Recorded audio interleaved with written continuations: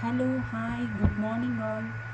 Today I am going to show you the preparation of ragi idli and dosa.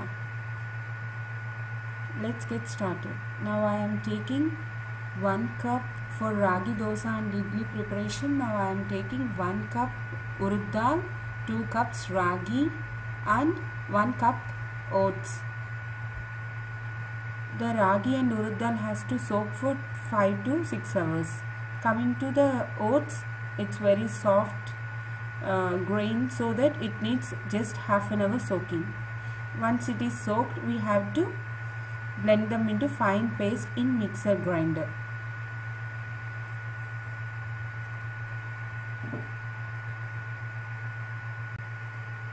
Once the batter is ready the batter has to sit for fermentation for 5 to 6 hours as we all know the batter has to sit in a dark warm place so that we'll get fully fermented batter. In this video you can clearly see the fermented batter. See how nicely it has fermented. Once it is fermented we have to add required quantity of salt. First I am going to show you the idli recipe for idli recipe the batter has to be thick enough. It should not be too runny. Now I am greasing the molds with bit oil or you can use ghee. It's up to you. Now I am adding enough batter into the molds. Once the molds are filled with the batter you have to place all molds in the steamer idli steamer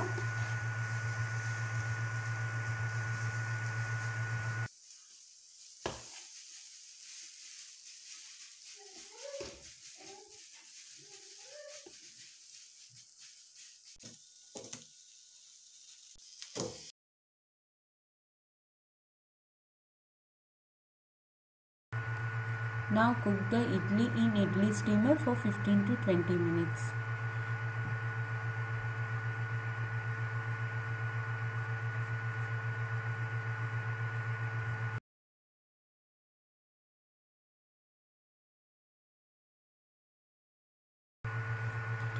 After 15 minutes you have to check whether the idli is cooked or not. Just you can check by simply touching the idli if the idli doesn't stick to your finger then it is ready.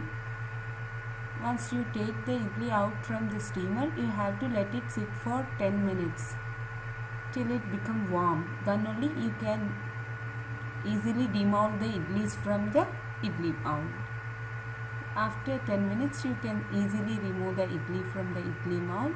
See in video you can clearly see and you can serve with your favorite chutney.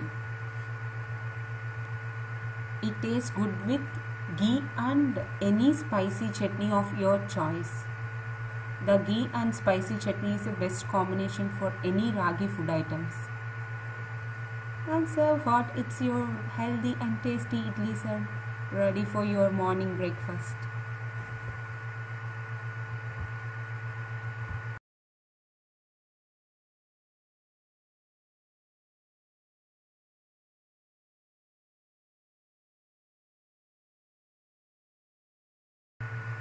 Now I am going to show you the ragi dosa recipe.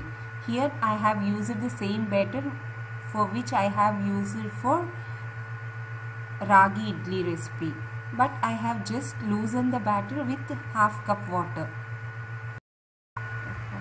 Now I am preparing ragi dosas on preheated oil greased tawa. Just I have took a ladle full of batter and evenly spread on the tawa. And now I am drizzling half tablespoon of oil on the dosa. Once it once it become crisp, I'll just take it out of the pan using a spatula. That's it. The emir crispy dosa is ready. It tastes as good as normal urud dal rice dosa and much more healthier than urud dal rice dosa. I can assure you that. In the second dosa, I am drizzling a half spoon of ghee which help gives us more bone strength and helps us nourishing well and I am adding some masala for the taste that's it the yummy crispy ragi dosas are ready to serve